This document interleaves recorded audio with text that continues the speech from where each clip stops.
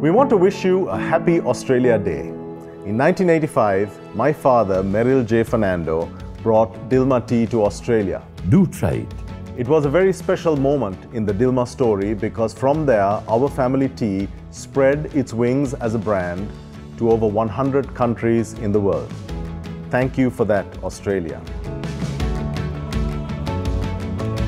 My tea-inspired toast on Australia Day is with our Dilmah Earl Grey tea. Fabulous on its own, wonderful with a little fresh ginger and a twist of orange. Do try it. Happy Australia Day.